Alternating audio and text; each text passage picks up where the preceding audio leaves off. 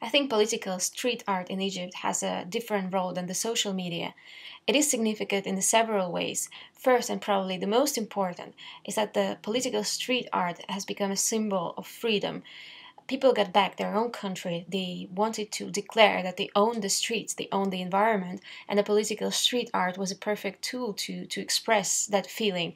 So, let's say the project Egypt in Colors, where um, neighborhoods guided by the fine art students decided to, to paint the streets to make it more colorful and more nice. So, this was a way to, to declare that we own the streets, we, um, we have the freedom to decide what we want to do.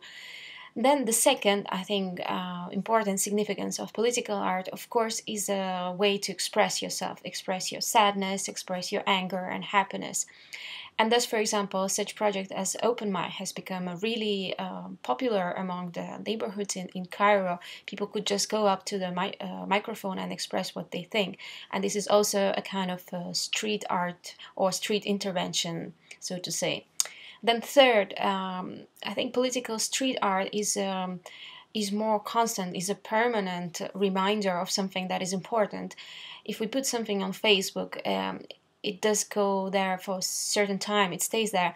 But uh, let's say paintings of uh, martyrs, um, of November clashes, or recent Port Said massacre is a constant reminder. It's always there, it's always on that wall so it just reminds people of, of what is important to remember the, the crimes that um, Mubarak regime has performed or SCAF uh, has performed recently.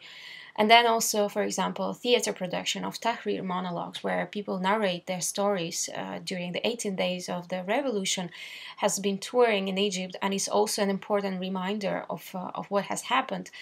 And that brings me to another point that political street art is also an alternative uh, to, to the state media or to the social media. Not everybody has an access to, to, to TV or to internet, Facebook, and Twitter. And thus, people take in their own hands how to inform people on what is important. And that's, for example, um, the community um, I'm Egyptian has been screening important videos from the protests or important videos where where SCAF members are um, clashing with the protesters, and they've been screening it in the different neighborhoods of Cairo, which is also a kind of art or street intervention, and it plays uh, uh, such a role as, a, as an alternative to the state media alternative to any other medias. So I think in these four ways, uh, political street art is important and also different from the social media.